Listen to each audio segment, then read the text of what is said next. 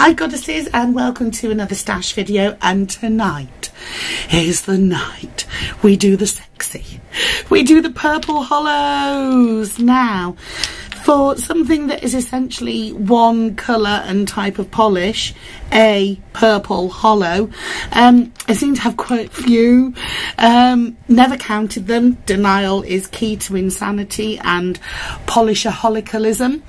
Um, but you'll see there's quite a lot of different shades of purple in here, from dark ones to creamy beigey ones to classic icy ones um, and we've even got some reddish weirdy ones. So um, yeah there's lots of them and they're very exciting. So I'm going to start sorting them here um, while you have a little bit of a drool over what you can see in camera shot.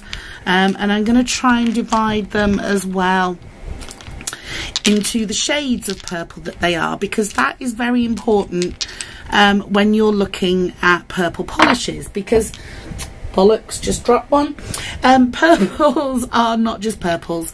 Um, purples come in very many shades and sizes. So if I just show you what I mean um, some purples are brown based like this beauty and others are very blue based like this beauty.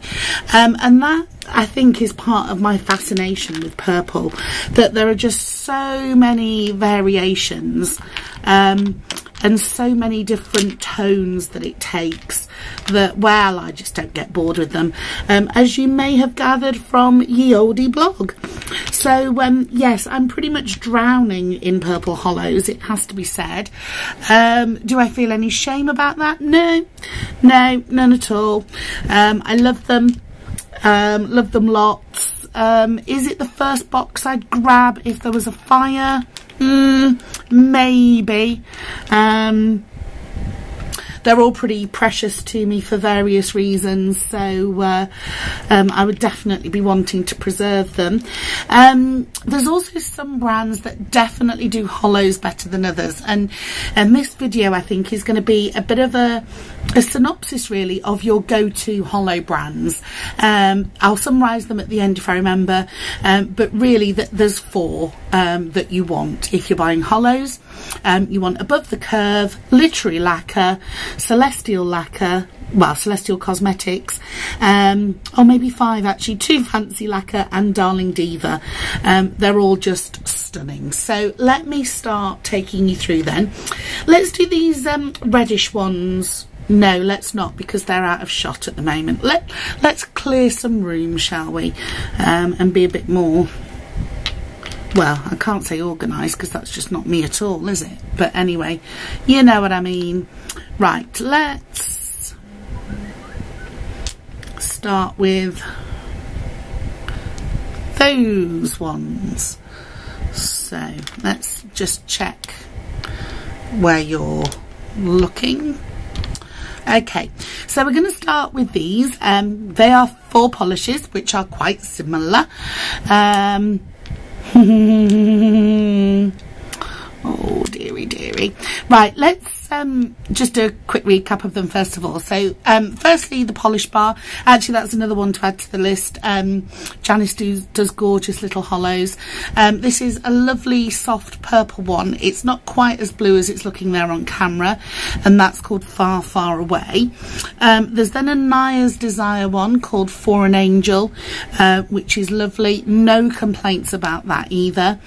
And then these are the two that are the most similar, and I wonder whether they look alike because the bottle's practically the same as well. So you have Too Fancy Lacquer Shrinking Violet versus Emily de Molly Devotion. Um, now what's interesting is I've considered um, destashing Devotion before and chickened out at the last minute. Um, it is gorgeous. Um, compared to the Too Fancy Lacquer, it's definitely got more holo going on, a lot more bend there, and the colour is a little bit deeper. Um, so they're not dead on dupes, but they are probably a little bit similar for comfort. But we'll, we'll ignore that for now. That's okay. We don't we don't have to address it all. So let's let's do the, the ready purple ones then. Um, this is a bit of a mishmash because I think some of them live in the red box, some of them live in the purple box. But hey ho, there's more room in this box than there is in the other one. So, um, first of all, this is an indefinable one. This is Literary Lacquer's Phenomenal Woman, um, one of the Blogger Creations polishes from a couple of months ago. Um, this is nominally red, but there's lots of flashes of purple in it. Um, it's almost like a living gradient on your nails, a very difficult polish to categorise, hence why it's been lumped in this tub. Um, we then have two hits polishes. Um, we've got here Hits Athena, which is an out and out pink and I have no idea um, why that has ended up in this particular bucket so we'll put that to one side um, and then this one is another hit. This is so unique. Um, I did a blog post a few weeks ago about Crow's Toes Indian Summer and Naya's Desire Prana. Um, this is another of the ones that are very similar to that. So I'm going to keep that to one side on the nail table because um, I do need that for my comparison post soon. Right, we then have the lovely Femme Fatale. Um, labels come off, but I'm pretty sure this is Fatal Attraction. So this is amazing. There's holo in there, there's purple in there, there's burgundy, there's ruby, there's just crumpet happiness in there, really. Um, and then two very dark ones, um, Smitten Polish, I Never Drink, wine, um, which is a lovely red wine coloured holo. Um, quite a difficult shade to get perfect with a holo, and that's lovely. Um, and then if you can just see, first of all, by comparison, this one is a couple of clicks darker, which is quite a trick.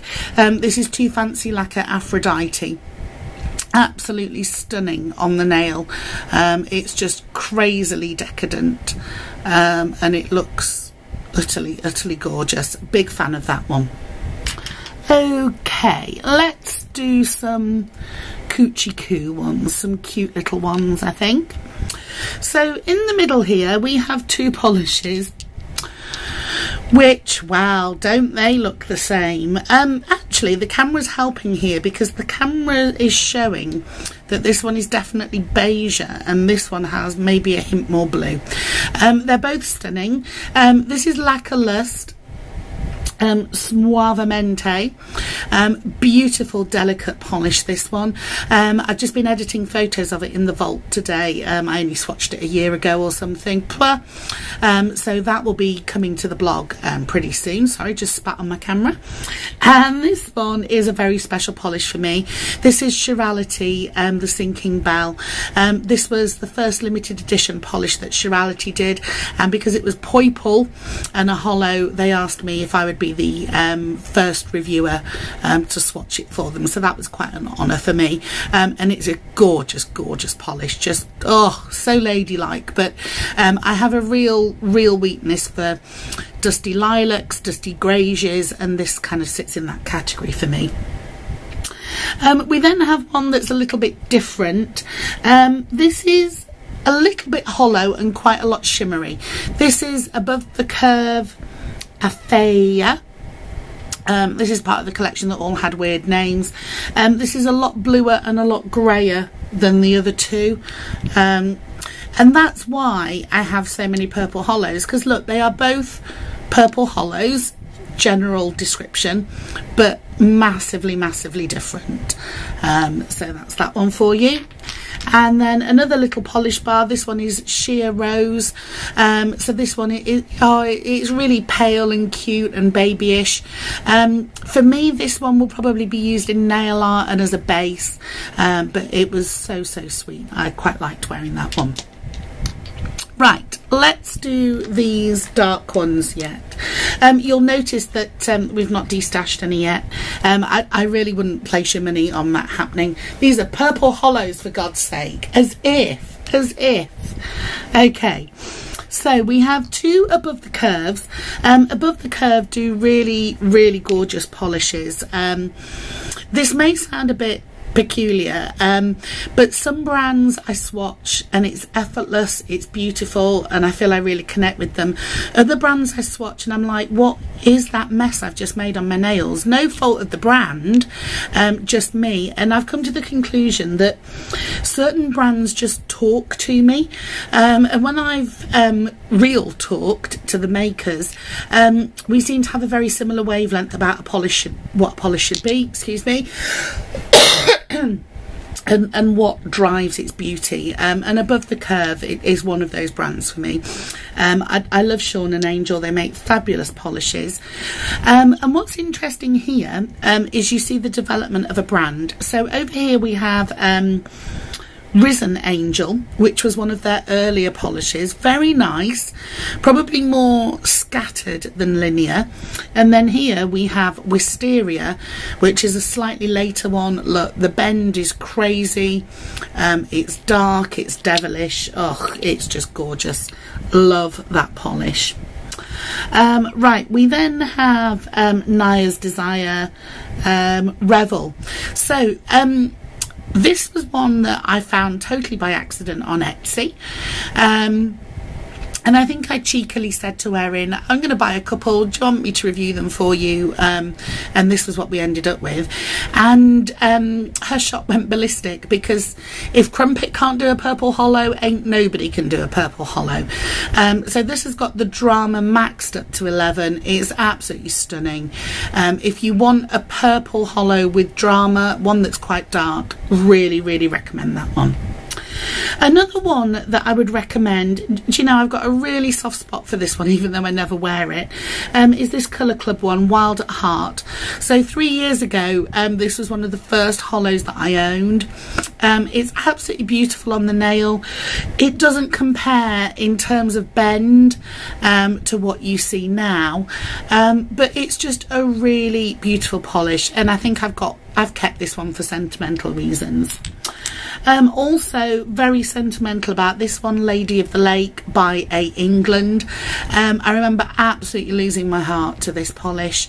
Um, it's very, very blue toned actually. It's almost an indigo um, colour still beautiful but nowhere near as bendy again as some of the the newer style polishes. So if you want a dramatic colour but without too much bend drama um, that's a quite good one to go for. Okay right let's move all these ones because if there is dupage in the city of purple this is where it will happen yeah, these are all really similar. Um, so let us start with Ozotic 513. So, oh wow, look at that camera shot. Whoa. Okay, again, this one is kept for sentimental reasons. This was one of the very first holos that I bought. Um, this was when um, Leanne Leroux only had an eBay store. Um, so this is getting on for three years ago now that I bought this. You can see the holo is spectacular. It's a dead-on dupe for Glitter Gal, um, either purple holo or did they rename it Dark Bruise? Um, something like that. But it's made by the same parent company, just different brandings. Um, you'll see in a minute, it's not unique in my stash. In, in fact, it's the most commonly duped colour of Purple Holo that I see. Um, but this one is my original one. Um, in a lot of ways, it's a yardstick for other polishes. I've not done um, a purple comparison post for a long time, um, but this one would always be in it. Look, look, look, isn't she cute how she plays for the camera? She's showing off, and why shouldn't she? She's bloody stunning. Right, um, we then have another Catherine Arley. If I'm honest, um, this colour doesn't wow me, uh, but I like the dusty quality to it, um, and I've kept the other Catherine Arley, so I thought, well, you know, you keep a couple, you should probably keep them all. Um, it's pretty, um, but I've never worn it since I swatched it on a nail. Whoops. Okay, um, another little cute sentimental one. This is a Loki's lacquer polish. Um, these polishes are no longer made and this one is number five is alive um, I was sent this for review um, and it kind of took me by surprise actually it's a very very delicate holo and then it's got some shimmer in it as well. Um, and it's just really beautiful really cute. Love the bottle. Um, so I kept that one. Um, very fond of that one. Right, we then have two Darling Diva polishes, which were um, from the recent um, Stevie Nicks collection. We have Stand Back and we have If Anyone Falls. Now, I did comment on this in the blog post at the time, but this is an example of how two seemingly identical purples can be different. So you can see here on the left, we've got the blue toned purple, and here on the right, we've got the brown toned purple. So the colour is the same, but the base tonage is different. Um, when you wear them together you can just about tell. If I'm honest if you're not that precious about your purple holos you're never going to know the difference and you only need one of them. Um, again if you have a preference as to brown bases or blue bases in your purples that will dictate your choice. Um, but I've kept them both because they are both stunning.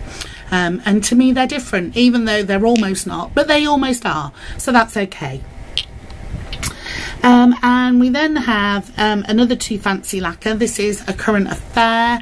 Um, this is quite gorgeous. Um, it's a lot redder. Well, not a lot redder, but it is redder um, than the Ozotic and redder, yes, and lighter she says smugly, um, than the Darling Diva. So that's another nice one. Um, I really recommend Too Fancy Lacquers. Um, they stamp as well, um, which is always good. Um, and then we have Literary Lacquers Everything You Love. Um, this is gorgeous. I don't really have another purple in this kind of range. Maybe this one, which is an early above the curve. This one's Guardian Angel um, but it's quite uncharted waters. It, it's a medium brown based polish. Oh, they are quite alike, aren't they, in some ways? Um, but I really like that. That it's nice and it's delicate when it's on. Um, all of Amy's polishes. Um, if you ever read her Crumpet Chats too with me, um, she works on the basis of less is more. And with her polishes, um, especially her holos, you often need three coats. And it's because she keeps them thin to let the light through. And when I first heard her say that, I thought it was the most clever comment I'd ever heard about a holo polish. Um, that being said, um, I don't know how some polish makers then manage to make these opaque ones that are still um, quite beautiful. But whatever Amy's doing, I love the results, um, so keep doing it. Right, let's finish off with these ones before we go to that corner over there. So another literary lacquers. Um, this is one of my all-time favourite polishes. This is If It Pleases You. Um, every once in a while you meet a polish that just unlocks something within your heart and for me that's what this polish did it's just absolutely breathtaking um, I love it to pieces can't get enough of it um, and I would urge anybody to buy it very brown toned as you can see but oh my god so so beautiful um, we then have the classic OPI DS original. Um, would you believe I owned this, sold it, and then went, oh yeah, I think I want that again. Um, so I bought it again. Um, I don't have many of the OPI um, holos, um, but I do have a few, and I love all the ones that I've got actually. Um, this one is just magical. Um, again, this is one of the most duped purple holo colours there is. Um, it seems to be the, the stopping off point for everybody that wants to make a purple holo. Um, this is where they go first, this silvery lilac-y purple colour. Um, this just looks like unicorn juice in the bottle. It's amazing. Don't buy anything. If you can find the original, get the original because it's much, much better. Um, certainly way better than the China Glaze equivalent, which is just an utter dud, in my opinion. Um, so that's the very special OPIDS original. Um, we then have another literary lacquer, surprise, surprise. Um, this is As the Waltz Was Ending. Now, this one I did not expect to like at all when I got this in my review package. Um, basically, because it, it's quite violety and blue toned which doesn't always match my skin tone but it did it looked beautiful on Um, very different to all the other colours in the purple stash. Um, this is the only one that I've got like that. So very nice. Um, and the final literary lacquers we've got over here is Mysterious, Irrevocable, Sacred, which um, is a bit of a toss up whether this is a purple or a, or a blue. It goes on as quite an indigo-y denim colour. Um, I would probably categorise it as blue, but as the purples live with the blues, I've probably pulled that out by accident. So let's just move on. So here are two sets of polishes, which from a distance look identical, but they're not. They're not. So firstly, the gorgeous Celestial Cosmetics. Um, I've only gotten into this brand this year, but oh my god, I adore them. We have Elegantly Wasted over here, which is slightly paler than Blitzen's Budgie Smuggler over here. If I do that for you, uh-huh, um, the Budgie Smuggler is definitely the winner, uh, but there's also something truly beautiful um, about Elegantly Wasted as well. So they are both gorgeous. Um, if you're not a massive Purple Holo fan and you own one of them, you don't need the other. Um, but for those of us who need to justify why we have two extremely similar colours, well, there's just different, aren't they? Different. Um, and then too fancy lacquers, um, which aren't actually identical, but they're very tonally congruent. Um, so first of all, we have Prima Donna, which is a very icy lilac. And then over here we have Moonlight Sonata, which has a bit more blue to it and a bit more depth. Um, both of them are excellent for stamping. Um, but they both look beautiful in their own right as well. Um, and you can just see there how much, how much bend is in those bottles. So there you go. That's the purple stash. Um, we're not going to count them, as I said, because counting is counterproductive to denial. Um, hope you've liked them all. Um, I did own more at one time. I was quite vicious in a D stash once, and I promised to my babies that I would never ever do that to them again because it would just be cruel, and I can't hurt their feelings. Um, so yeah, there's a lot of purples here. I think I could probably wear a different purple holo nail polish easily for a month um, every day and um, not dupe myself. But you know, it's good to have a bit of variety, even when they're similar. Um, so there you go. I hope you've seen some that you love, some maybe that you've not seen before. Um, seriously get yourself into literary lacquers because they're awesome. Um, also get yourself into too fancy lacquer because she's awesome. Um, as is Darling Diva, but you know that. I know I've got a lot of Darling Diva fans. Um, Naya's Desire. This is just class. Ev everything in this pile is class. There is no crud. There's no dodgy brands. So you're safe buying from all these amazing people. Love you lots and see you soon